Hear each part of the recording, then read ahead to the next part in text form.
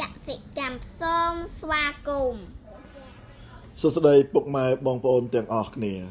ថ្ងៃនេះនាំពុកម៉ែបងប្អូនទាំងអស់គ្នាមកដុតអង្កាមយកខ្ជូងអង្កាមដើម្បីដាំដំណាំ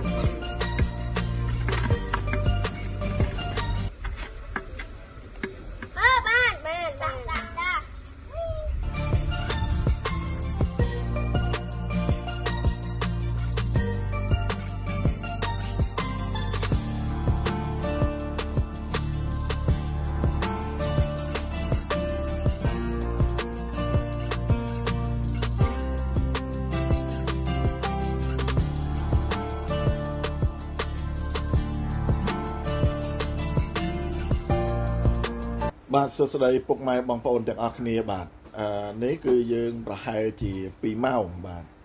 ដោយសារខ្ញុំដុតហើយខ្ញុំទៅសម្រានអញ្ចឹងបែរជាខ្ទង1ម៉ោងកន្លះទៅ2ម៉ោងឥឡូវអឺខ្ជូងអង្កាមយើងត្រូវបានដុតរួចរាល់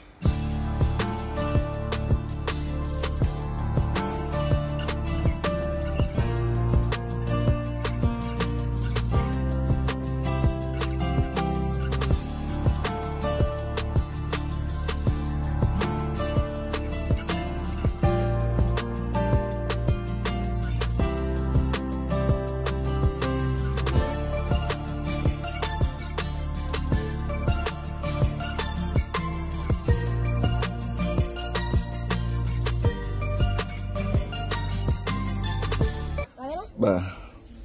បាទឥឡូវយើងចាប់ផ្ដើមអឺពលុតហើយ ក្រុមអគីភ័យបាទនេះស្អីស្អាតមកជួយពលុត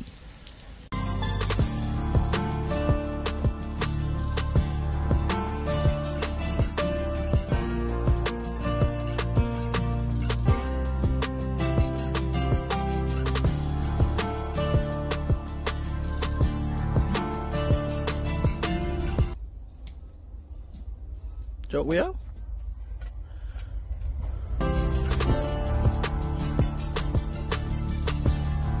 ាទហើយយើងបានជា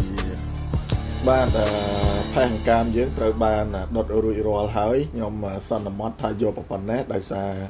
អឺខ្ញុំអត់មានពេលវេលាគ្រប់គ្រាន់ក្នុងការអឺដុតឲ្យវាថែមបន្តិចទៀតក៏ប៉ុន្តែខ្ញុំសន្មត់ថាប៉ុណ្ណេះខ្ញុំអាចយកបានហើយបងប្អូនមើល